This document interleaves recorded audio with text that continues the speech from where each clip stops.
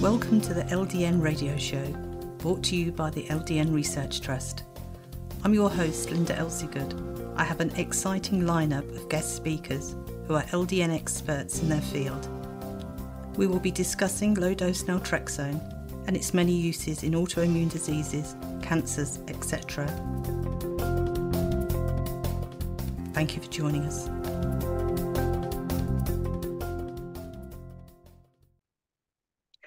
I'd like to welcome our guest, pharmacist Suzanne Rosenberg from Community Compounding Pharmacy in uh, Oregon. Thank you for joining us today, Suzanne.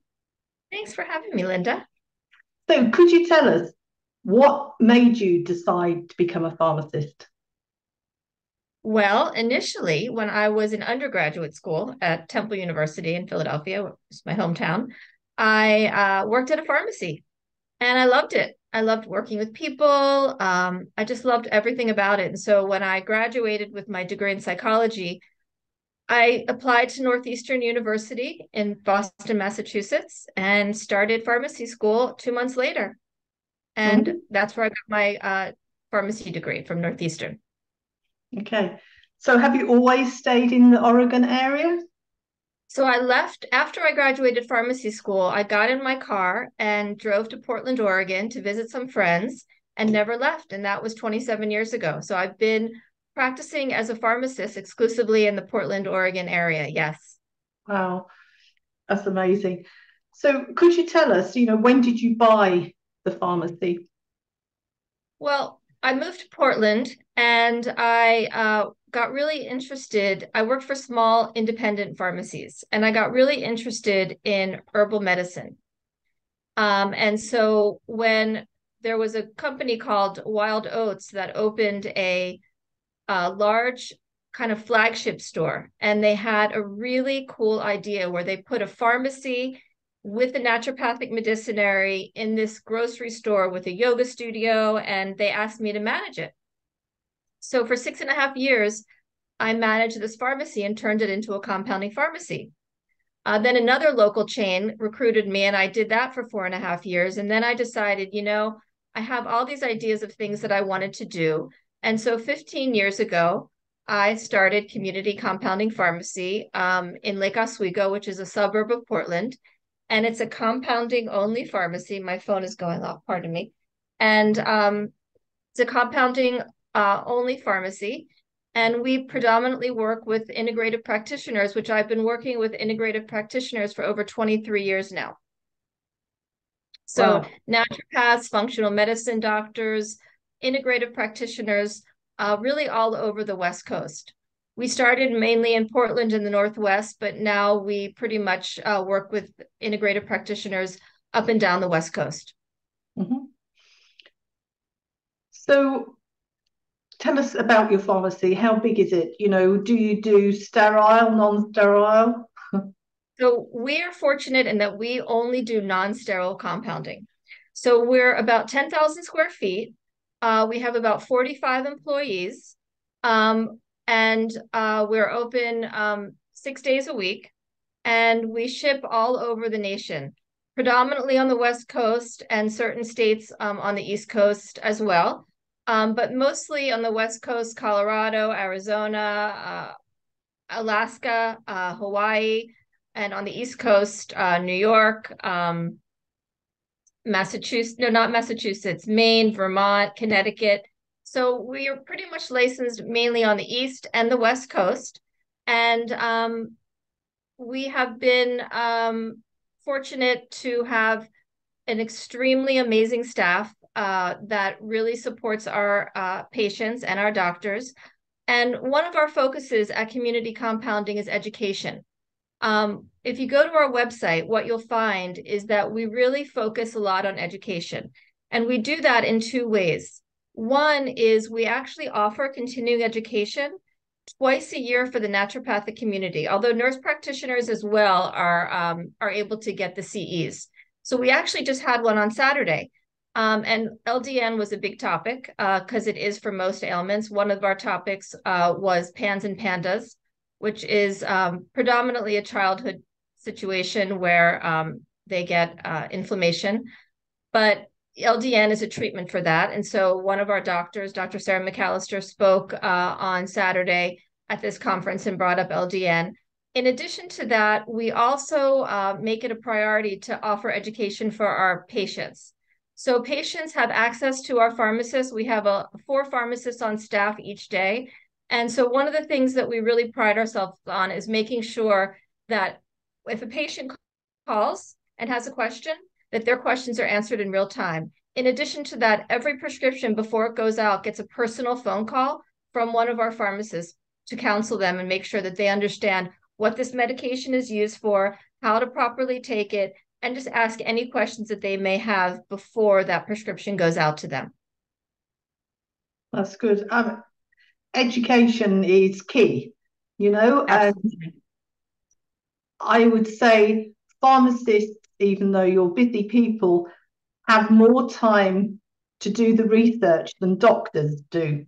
You know, you are the people that educate the doctors and do the hand holding and explaining to the doctors. You know, they're not experts in drug interactions.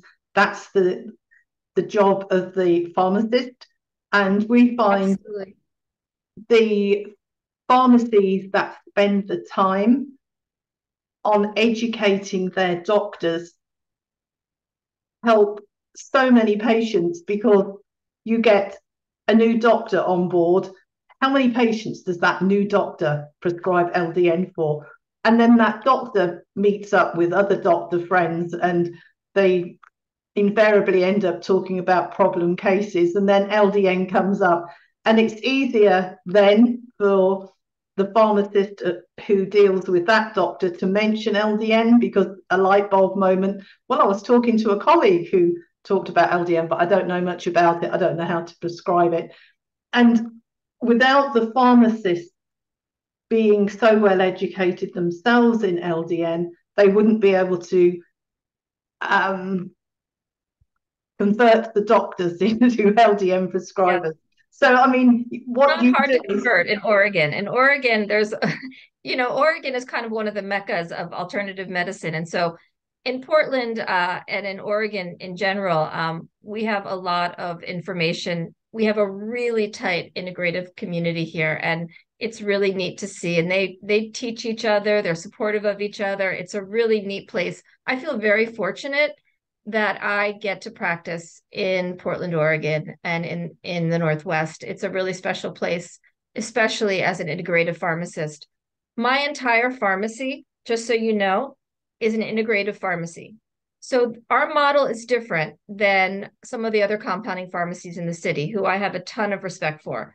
Ours is different in the sense that uh, a lot of the other compounding pharmacies will market to um, doctors who maybe are more focused on allopathic. And we do work with allopathic practitioners. We are the main compounding pharmacy for OHSU when with with their all their LDN. So all of their uh, LDN from Oregon Health and Science University, or at least most of it, they have a tight relationship with us. Um, but our model is different in the sense that we really only market and uh, seek to educate alternative practitioners at this point.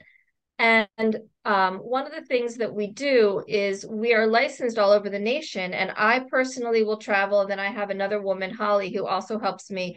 And we meet with naturopaths, functional medicine doctors, integrative practitioners, doctors who are interested in learning alternate ways of treatment. And so what we see our role as is, is to go out throughout the nation and meet with these doctors. That's really our focus. So we work with doctors all over the nation and we actually will travel and we do what we call a lunch and learn. And at our website, you can actually go onto our website and uh, there's a doctor portal on there. And in that doctor portal, you can actually request a lunch and learn. And so we go and we sit and we meet with these doctors and we go over integrative uh, products that we have. A lot of them um, will have never heard of these formulas because because we work so closely with the integrative practitioner group in the Northwest, we're actually created formulas, including using LDN. We've been using a lot of LDN topically at community compounding. We have a formula now that we're really proud of that is a, a topical LDN for lichen sclerosus with some herbs in it, as well as some uh, hormones. Um, we also use LDN topically when it comes to psoriasis and eczema. Um, we use that in conjunction with a product called ketotifen, which is a mast cell stabilizer. And so what we do is we use LDN orally, but we've also been utilizing a lot in our topical preparations.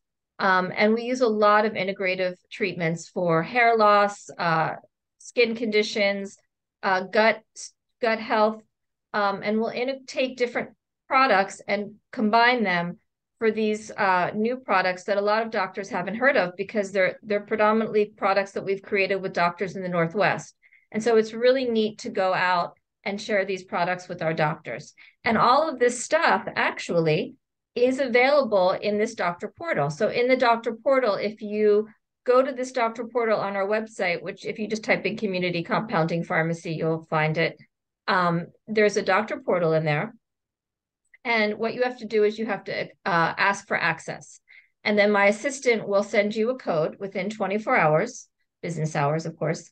And then you'll have access to all of our prescription pads, all of our research articles that we have in there, um, recommendations for treatments. I have a little um, pamphlet in there that was a talk that I had done uh, in January in Hawaii for some naturopaths.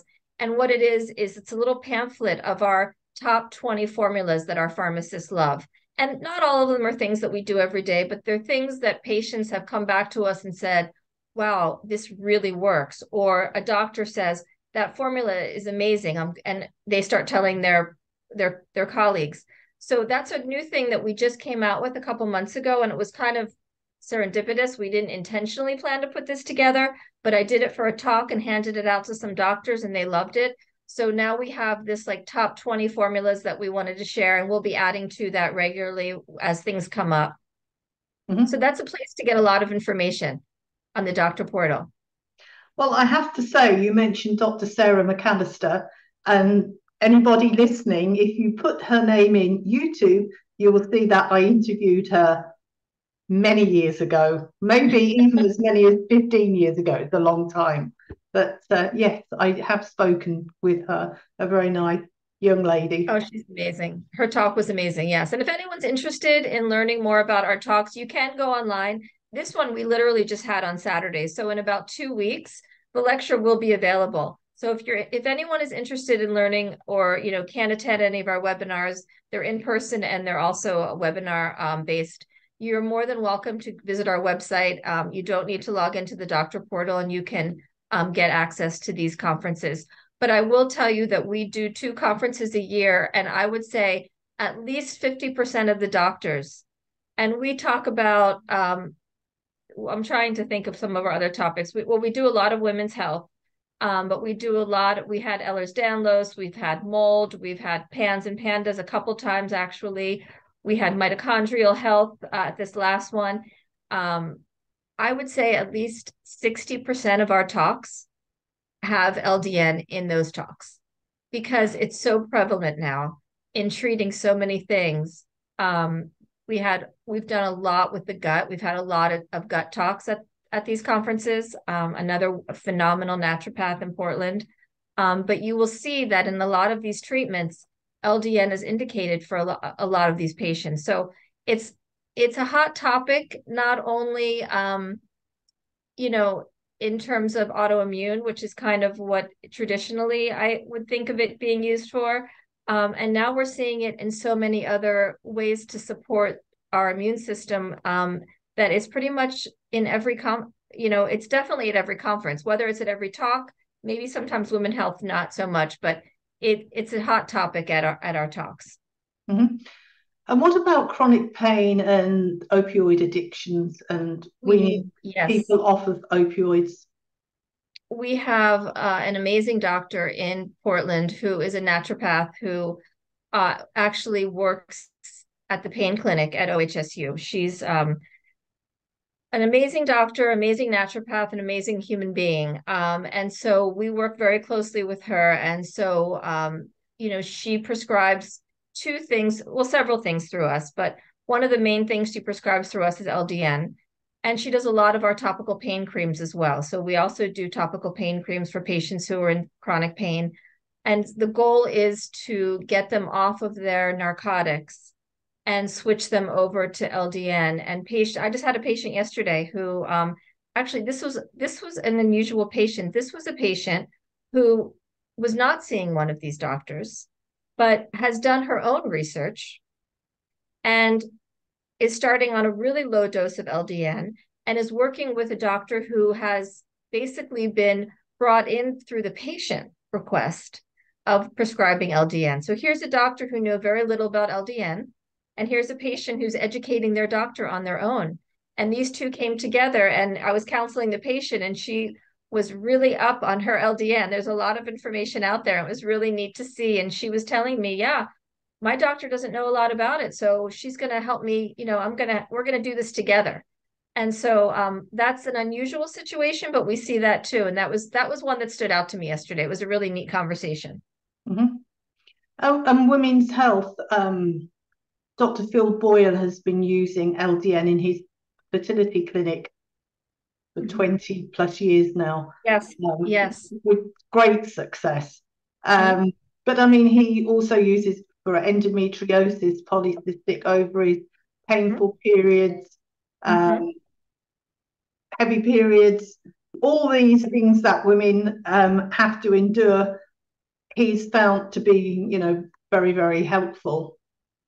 We had a, this was also a phone call I had yesterday with a nurse practitioner. Um, so I'm on the phone all day long, and so are my pharmacists, ans- answering questions, coming up with formulas. Um, we had a doctor, a nurse practitioner call me yesterday. Again, someone I've known for gosh, 20 years.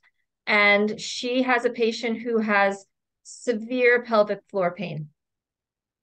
Um, and it's uh so what we're doing for her is we're doing a I'm trying to think exactly what the formula was, but we're doing um oh, you know what it is? This particular patient had actually some inflammation, is what it was, and it was a burning pain. And so we're actually doing a suppository for her of chrom. It's a mast cell patient. We're doing cromolyn, and we're doing. She had already been on diphenhydramine and ketotifen, which are uh, anti uh, antihistamines. But we're doing cromolyn. We're switching it to cromolyn, and I suggested that she add some naltrexone to it. So we'll see what happens. But these are the kind of formulas we're always thinking when we're having a situation where a patient is in pain and we're trying to, oh, we, and put some lidocaine in there as well. Um, but when a patient is in pain and we're putting things together, naltrexone is always something that I'm starting to incorporate into these products because I'm finding that we're getting great results. I mean, the lichen sclerosus formula has been a huge success for us. And this was a formula that we kind of been playing around with for years, but it contains, uh, we've been working with glycyrrhiza, which is um, licorice root, which is a common treatment for lichen sclerosus. It's There was a product on the market for many years uh, that contained licorice root. And so this new formula that we've created is a combination of estriol, the glycyrrhiza, aloe, and naltrexone and some vitamin E. And it's an it's a steroid-free cream and we have been working and trying to find something that is steroid free for lichen sclerosus. And this is really the first time that we're getting feedback from our doctors and our patients, our doctors primarily, because um, you can see it. You know, they try it on one patient and they try it again, and they're calling me and saying, What was that formula that I called in for lichen sclerosus? I need it for this patient because it works so well. That's kind of how we get our feedback. Um, and so we're really excited to have that. And I'm finding that when I'm creating formulas now, I'm thinking a lot more of putting naltrexone in these formulas, um, even if they're not, you know, for for other areas of the body, not even just topical. Mm-hmm. I mean, not even just oral. Excuse me. So, for your patients that use it for a dermal- dermatological condition, how long do you normally find it takes before they experience um, you know it's really... that's one of the disadvantages of being a pharmacist right it's like we have this we're really accessible but we also don't have a lot of patient follow-up usually pharmacists hear really ex- amazing things or we hear things when there's an issue we don't see get to see patients all the time so it's hard for me to say but i know with uh, i know there's actually a research study uh, that pcca did on specifically on um, naltrexone in their XemaTop product for eczema. Um, and so that's something that you can actually just Google, and it has some um, dates, some time frames there. What we do for our uh, eczema and psoriasis cream is we actually add ketotifen to it as well. So it's a combination of naltrexone ketotifen in their XemaTop product. But typically, patients usually, if they don't get results after a month, they usually stop. And most of our patients are getting results within a couple weeks. Wow. I mean, having spoken to lots of patients with skin conditions, they seem to be the the people that take the longest to respond to notice some things. I mean, some of them, you know, it's six months, you know, they stick with it and it takes that long. A lot of these patients are on LDN orally, so they'll be on LDN orally for a while, and then we'll start the cream. So they've already kind of had the advantage of being on LDN. Okay. But one of the things I did want to share with you guys is that um, one of the things that we decided to do as a compounding pharmacy, uh, especially post COVID, is our focus was really on becoming efficient. You know, having patients wait for their medications um, we just realized is no longer is, is no longer an option, and we really wanted to make sure that efficiency was um, a priority at community compounding. And so one of the things that we did, um, because we deal with, we work very closely with the mast cell activation community in the Northwest. Um, and because we work with so many of these patients, um, we decided to start finding ways to have our turnaround time shortened. And also, uh, we really value our employees and we really, and, you know, making large batches of capsules is actually physically challenging. It's a lot of work. So, um, one of the things that we decided to do about six months ago is we decided to invest in a tablet press. And we are now pressing two drugs at community compounding, one of them being naltrexone. So we're one of the few compounding pharmacies in the United States that is making naltrexone tablets. Our naltrexone tablets are a little different from some of the other compounding pharmacies.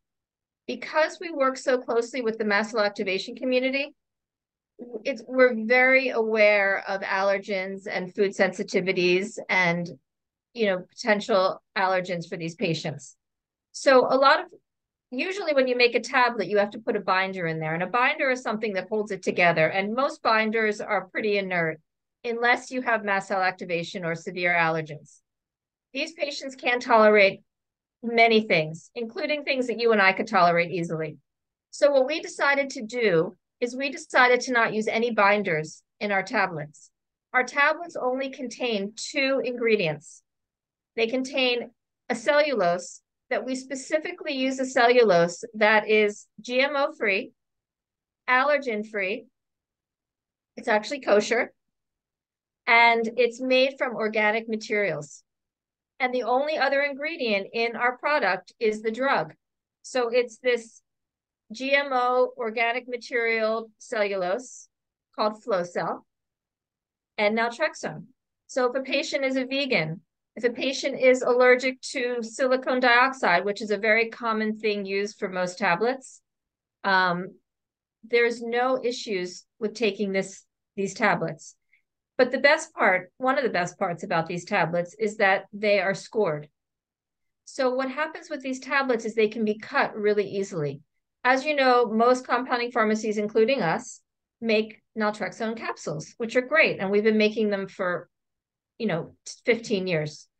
Um, however, with these, you know, capsules can't be uh, accurately split.